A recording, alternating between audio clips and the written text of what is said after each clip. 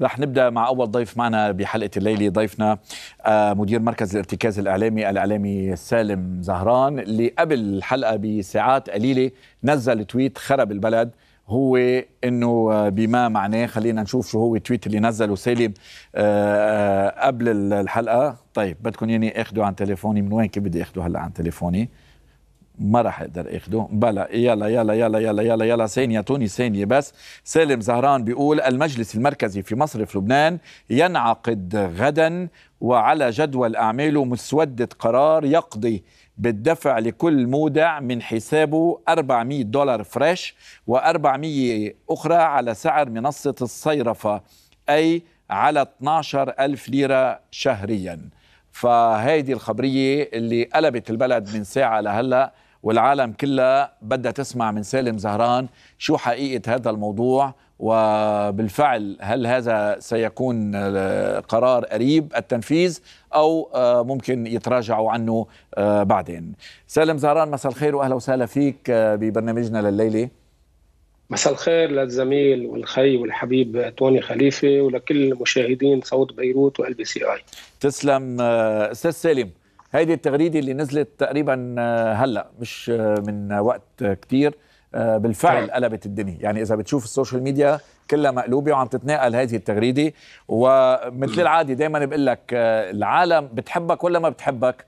ولكن بتصدقك يعني هيدي هيدي ميزة كثير لا هيدي ميزة كثير مهمة. يعني في ناس بتحبه لسالم زهران يمكن ناس ما بتحبه باختلاف سياسي. ولكن دائما بتنطر شو بيقول سالم لأنه بيعتبروا إنه هذه المعلومة هي معلومة دقيقة. شو صحة هذه المعلومة اللي كتبتها سالم زهران الليلة؟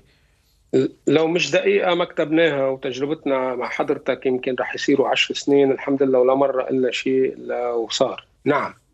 القرار 154 لمصرف لبنان اللي طلع بعتقد بآب 2020 واللي طلب من المصارف ترجع شوي من المصاري طلعتهم برا واللي طلب منهم يعلوا رأس رأس مالهم كتار وأنا منهم بصراحة. اعتقدت هذا القرار مش رح يعمل نتيجة. يلي رح يصير بكرة هو نتيجة هذا القرار يلي يبدو إنه زبط. لكن بدي أرسم الصورة بالعمومة وأرجع فوت على التفصيل مثل العادة. نحن الصورة بالعمومة من 2019 مع حضرتك قلنا المودعين حطوا مصاريهم بالمصارف المصارف حطوا جزء كبير منهم بالمركزي المركزي أعطاهم الحكومة بموازنات صرفتهم وبعجز بالميزان التجاري وميزان المدفوعات الحكومة غطت حالها بقوانين الموازنة المشرعة بمجلس النواب. اذا مودع مصارف مركزي حكومة مجلس نواب. طار جزء كبير من دولارات اللبنانيين وصرت بتعرف كيف. شيء على الدعم وشيء على المحروقات وشيء على الكهرباء وشيء على العجز وشيء على الهدر.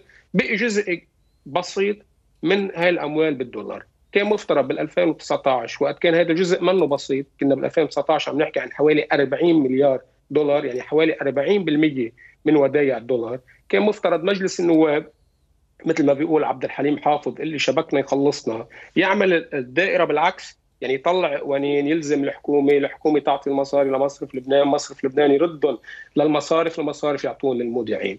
للأسف مجلس النواب كان ملتهي وكان مشغول عن عمد لأنه عدد كبير من النواب والمحظيين واللي حواليهم كانوا عم بيهربوا بهالوقت مصاريهم. الحكومة كانت علقانة مع محبتنا للرئيس دياب وهو صديق وهو خي لكن حكومته غرقت بالتنظير وجزء من الوزراء اللي كانوا بالحكومة فاجئونا كنا متوقعين إنه يكونوا أحسن من هيك. اعتكفوا واستقالوا على بكير من دورهم. كمان اليوم عم نشوف الحلقة النصانية اللي هي مصرف لبنان. عم بتقول بكرة نعم وأنا بتحمل كل المسؤولية وما عم بحكيك عن موعد بده يصير بعد سنة. عم بقول لك بكرة على بكرة. في اجتماع بالمجلس المركزي في draft في مسودة لقرار. أنا بتمنى إنه يطلع بكرة. ما يأجلوه لا بعد بكرة ولا لبعد أسبوع. بيقول إنه كل مودع وراح شدد كل مودع مش كل شخص. يعني طوني افترضنا خليفة عنده خمس حسابات وخمس مصارف بياخذ من واحد مش بياخذ من خمسة. كل آه. مودع شخص okay. عنده حساب من 30 10 2019 ولورا يعني مش امبارح مشتري شيكات من السوق وفاتح فيهم حساب. هيدا المودع رح يطلع له كل شهر 400 دولار fresh و400 دولار بينصرفوا على سعر 12000 ليرة لبنانية اللي هو سعر صيرفة المنصة. أنا بتمنى هون نشوف مرجلة القضاء. لأن آخر فترة وبالعملية استوستوني بعض القضاة صاروا عم بيتنافسوا مع الفاشينيستا. مين بده يطلع أخباره أكثر على الفيسبوك وياخذوا قرارات ما أنزل الله بها من سلطان مثل قرار الشورى امبارح واللي تراجع عنه بعد كم ساعة. أنا بتمنى هون القضاء إذا المصارف ما نفذت مع للمودعين تشرف ترجينا عضلاتها وتروح توقفهم وتحاسبهم. أنا بتمنى من مصرف لبنان مش بس يطلع القرار لا بده يطلع القرار وبده يواكبه ويشلح الرخص لكل مصرف مش رح يطلع نعم. مش رح ينفذ هذا القرار. مصرف لبنان كان واضح قال لهم مصريات المودعين مش معنا مصريات المودعين هن مع المصارف وكأنه عم بيحمل المصارف مسؤولية الالتزام أو عدم الالتزام بهذه القرارات اللي رح تصدر بكرة. يعني بكرة إذا اجى المصرف وقال لك أنا لن ألتزم بإني سلم المواطن 400 دولار و400 تنين على 12000 أنا رح أقول لك هلأ على الهواء في بعض المصارف ومش كلهم بلشوا يمارسوا بعض الشغب بالإعلام وغير الإعلام ويطلقوا النار على هذا القرار سلاف ليعطلوه أنا بعرف إنه هذا القرار عم بيتحارب من ناس من مختلف التيارات السياسية نعم لأنه هي المصارف جزء منها كبير مش مقطوع من شجرة نعم. ومربط هون وصاحبه هون ومين نعم وراء هذا القرار؟ شو مين اللي داعمه هذا القرار؟ المصرف المصرف المركزي والمجلس المركزي بالإجماع متفقين عليه ورايحين عليه هيدا امتحان جدي لاثنين للمصرف المركزي مش إنه يطلع القرار يطلع القرار ويواجبه نعم. وهيدا امتحان للقضاء يفرجينا مرجلته لأنه آخر فترة كنا عم نشوف بعض القضاة للأسف عم يفرجونا مراجل بلا نتيجة يعني بيعمل قرار مثل الشورى إنه وقف تعطيه على 3900 وبعدين نعم. شو بيعمل على الموظف؟ على أحد جروبات الثورة آه، اللي هن آه، يعني آه، مجموعات بتعرف على حالها إنه مجموعات ثورة بعتوا هلأ سالم زهران بعده مصر على خبريته ولكن السؤال كيف بدهم يدفعوا دولار من وين؟ ما أنا عم بقول لك تعميم 154 جبرهم يعلوا رأس مالهم وأمنوا بعتقد رقم 3 ل 4 مليار دولار. وزائد الشبيبة حولوا مصاري لبرا. عم بقول لهم مصرف لبنان المصاري اللي حولتوهم لبرا بتردوا منهم 30% وبعتقد ردوا. هذا المبلغ اللي هو آه، رفع الرساميل عم ينقل عم بيقول لهم مصرف لبنان شرفوا ادفعوهم بالدولار. أنا بدي أقول لك أكثر من هيك. اي نعم لحد اليوم يا أستاذ توني الناس المحظيين عم ياخذوا دولارات من المصارف. لحد اليوم هيدا القرار جاي يقول شو المقصود بالناس المحظيين هيدا هو المعيار. شو المقصود الناس اللي عندهم علاقات مع مع المصارف ومع السياسيين ومع أصحاب النفوذ نعم. لحد اليوم بكرة على بكرة كانوا عم يسحبوا مصاري ودولارات وكانوا عم يقدروا يحولوا لبرا لأنه لحد اليوم ما في قانون من مجلس النواب عندك أسماء معينة سليم؟ عندك أسماء أنا يا ريت يا ريت هيدا اللي اسمها السرية المصرفية يشيلوها بقى؟ وخلينا نشوف كل واحد مين حول وكيف حول. طيب. لأنه وقت اللي بتقول اسم بده يقول لك بدي الدليل. اليوم الدليل مش موجود لكن في رقم كل الناس صارت بتعرفه. حجم الودائع وكيف نزل من 2019 لحد اليوم عم نحكي عن عشرات المليارات. نعم. على القليلة على القليلة في منهم مليارين ثلاثة أربعة خمسة هول تهربوا للناس المحظيين طيب. هذا نعم القرار اللي حكيت عنه. هذا القرار رح يطلع. أي رح يطلع ولكن أي متى برأيك رح يكون قيد التنفيذ؟ أول الشهر الجاي. أول شهر الجاي يعني أول سبعة؟ نعم. أول شهر سبعة بيكون آه، قيد آه، التنفيذ. طيب صح. أنت آه، بسياق حديثك أتيت على ذكر القرار اللي صدر عن مجلس شورى الدولة وهيك أتيت عليه بطريقة ساخرة. يعني إنه هذا القرار اللي طلع ورجعوا تراجعوا عنه مثل عمل بطولة فولكلوري خربط خربط الدنيا. من وراء هذا القرار؟ قريت بال promotion أو سمعت إنه خينا الأستاذ جوزيف أبو فاضل طالع يحكي عن هالموضوع. مزبوط وبعتقد هو محامي وأكيد أشطر مني بالقانون وأنا رح أوثق برأيه سلف. كبيت عليه بس يعني. بال... لا مش كبيت عليه حجاوب رأيي. رأيي الشخصي مش القانوني لأنه بالقانون يعني ما رح يكون رأيي علمي إذا بدك. رأيي الشخصي اولا عيب يطلع قرار بالليل ويتراجع عنه الصبح. مجرد إنك تطلع قرار بالليل وتتراجع عنه الصبح معناتها أنت غلط أو وقت اللي أخذت القرار أو وقت تراجعت عنه. صح؟ صحيح. ثاني شغله أو تحت الضغط. عيب الشك لا أسوأين. نعم. اللي بي... على الحالتين شورى الدولة أخطأ في هذا القرار. اثنين يا خيي أنت عم تاخذ قرار. أول شيء سألت خبراء المحاسبة سألت المعنيين بالاقتصاد سألت اللي بيفهموا خيي سألت مين سألت لأخذت القرار؟ مين هن الخبراء يلي أعطوك النصيحة؟ طيب. اثنين وجهوا اتهام إلى فريق سياسي معين أنه هو ورا كان هذا الاتهام لتحريض الشارع ضد المصارف. والله يا صديقي توني بهالبلد ما بتعرف إيد مين بجيبة مين.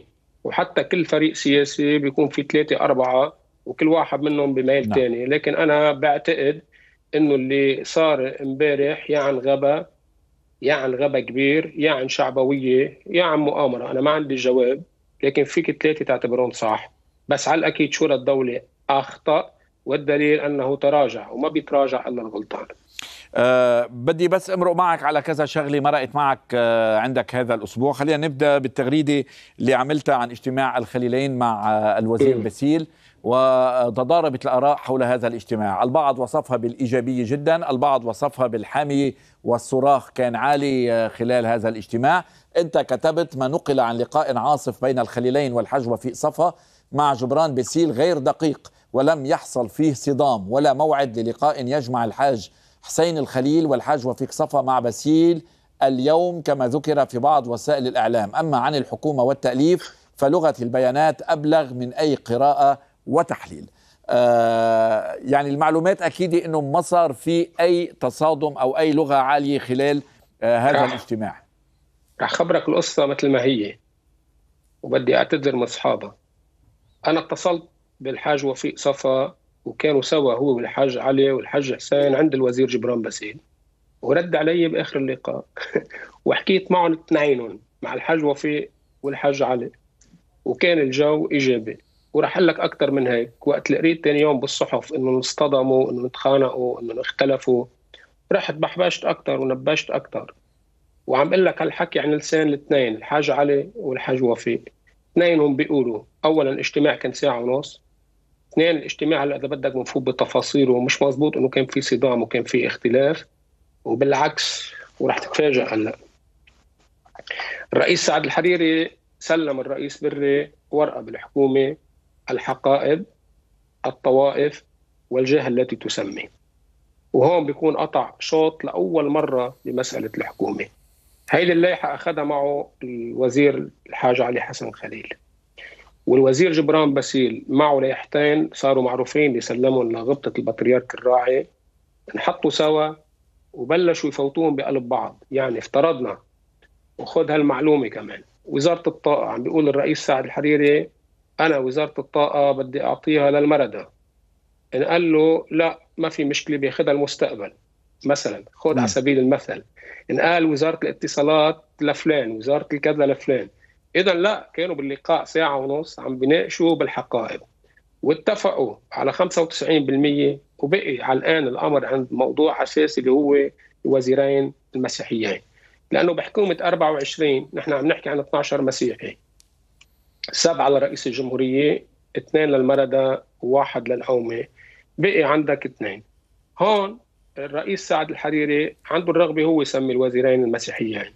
وزير جبران باسيل اقترح إنه بنجيب سلة وبهيدي السلة بيسموا كل الناس يعني النايب وليد جملاط الرئيس بري حزب الله كل الناس تسمي ونحط بهالسلة وبيختاروا الرئيس عون مع الرئيس سعد الحريري اسمين.